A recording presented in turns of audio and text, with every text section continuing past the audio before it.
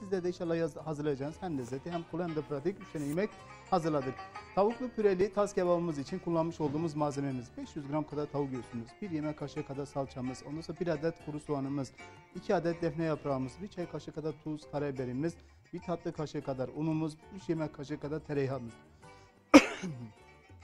Ee, 500 gram kadar tavuk göğsümüz, 1 yemek kaşığı kadar salçamız, ondan sonra 1 adet kuru soğanımız, 2 adet defne yaprağımız, 1 çay kaşığı kadar tuzumuz ve de karabiberimiz, 1 tatlı kaşığı kadar unumuz, 3 yemek kaşığı kadar tereyağımız. Püremiz için de 500 gram kadar patates, 1 su bardağı kadar sütümüz, ondan sonra 1 yemek kaşığı kadar tereyağımız, 1 çay kaşığı kadar tuzumuz. Püremiz için de 500 gram kadar patates, 1 su bardağı kadar sütümüz, 1 yemek kaşığı kadar tereyağımız, ondan sonra 1 çay kaşığı kadar tuz kullanacağız. 500 gram kadar tavuk göğsümüz, derisiz ve kemiksiz tavuk göğsü kullandık. Ondan sonra 1 yemek kaşığı kadar salçamız, biber veya da domates salçası olabilir.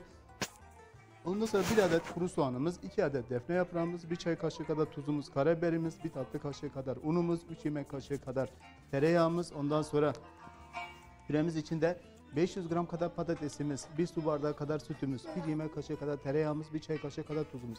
Patateslerimizi kabuğunu soyduk. Güzelce bir şekilde bir yıkadık. Tenceremize bol suda iyice bir haşlayalım. Haşladıktan sonra suyunu süzüyoruz. İçine biraz tereyağımızı, tuzumuzu ilave edelim. Ondan sonra hemen blenderımıza beraber güzelce bir şekilde bir eritiyoruz. Erittikten sonra içine sütümüzü ilave ediyoruz.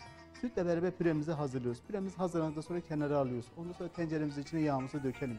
Yağımızı döktükten sonra soğanlarımızı iri iri doğrayıp içine ilave edelim. Ve soğanlarımızı iyice bir kavuralım. Soğanlarımız iyice bir kavrulduktan sonra tekrardan hemen içine güzelce bir şekilde bir kavuracağız. Ondan sonra tavuklarımızı iri iri doğrayıp ilave edeceğiz. Tavuklarımızı güzelce bir şekilde bir kavuracağız. Ve tavuklarımızı güzelce bir kavurduktan sonra içine baharatlarımızı ilave edelim. Ondan sonra tekrardan baharatla beraber hemen salçamızı, ondan sonra unumuzu ilave edeceğiz. Onunla beraber iyice bir güzelce bir şekilde bir kavuruyoruz. Ondan sonra yetecek kadar suyumuzu içine ilave ediyoruz. Suyumuzla beraber güzelce bir şekilde yemeğimiz hazırlanıyor. Yemeğimiz hazırlandıktan sonra tabağımızın altına püremizi, onun üzerine de tavuklarımızı ilave edeceğiz. Bu şekilde yemeğimiz hazırlanacak. Hazırlandıktan sonra da afiyet yiyeceğiniz çok lezzetli, güzel bir sunum olmuş olacak. Şimdiden sizlere afiyet olsun diyelim. Evet hemen diğer liste.